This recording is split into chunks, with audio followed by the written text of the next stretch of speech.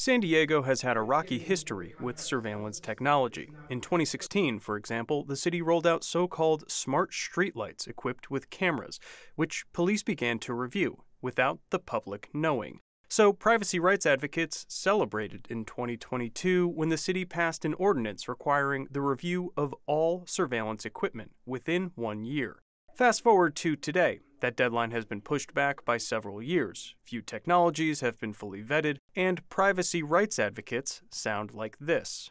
We are furious. Today's vote is a time to show the people watching that you stand by your words. I'm not adverse to updating the privacy ordinance for clarity or good faith adjustments, but these mass exemptions cannot be allowed.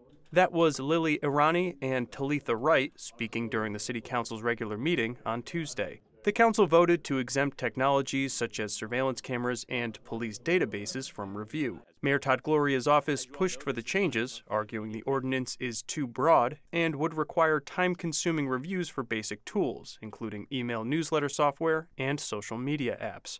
And the changes will likely keep coming. Here's Councilmember Marni Von Wilpert, who chairs the city's Public Safety Committee. I will bring this ordinance forward for amendments as often as we need because we are going to have to work to get this right.